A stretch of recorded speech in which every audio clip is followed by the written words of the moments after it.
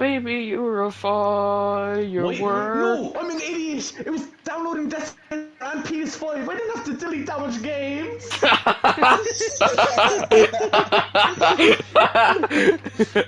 much games.